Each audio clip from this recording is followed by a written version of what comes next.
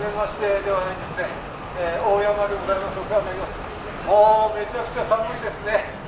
えー、頭が動いてるんだか動いてないんだか分かりませんが、えー、できる限りまとめてお話をさせていただきたいと思いますが、えー、先月もあの船橋の方でお話をさせていただきまして、大山さん、あなたどういう人ですかと、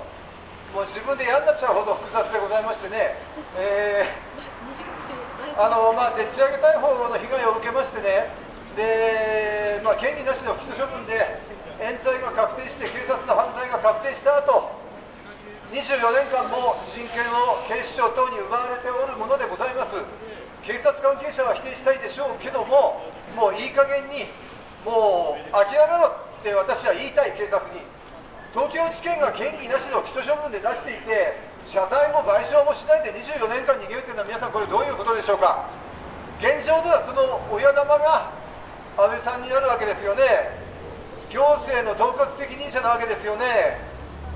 小池さんの件だってそうですよ。都知事責任あると思いますよ。警視庁の人事権を持っているのは結局東京都知事なわけですから私どもの世帯は、えー、警察庁長官もそれから警視総監も訴えさせていただきましたがそれがどうも全警察組織においては特に公安関係者の方においては憎らしかったようで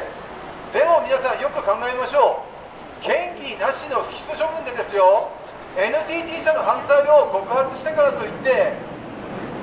でっち上げ逮捕食らって檻に、えー、19日間入れられて会社潰されてそれで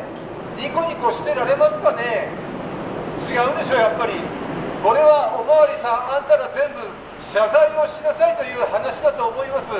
で超巻きでお話ししますが、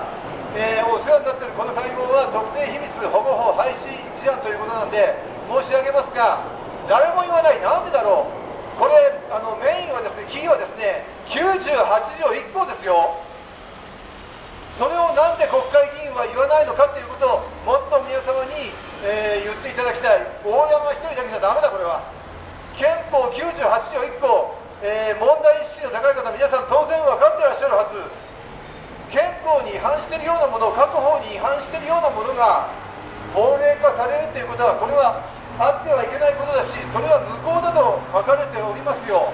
憲法98条の1それから99条もそうですよね。翻れば59条の1項だってそうですよ、えー、先月、えー、船橋の方で申し上げましたけども、えーなんでしょうね、メディアの問題というのもあると思うんですよね。電通さんが言わなければニュースにならない。ニュースにならないということは、問題意識のある方がいくらいたとしても、だまくらされてしまうようなものがあるんじゃないでしょうか。大本営発表のような形、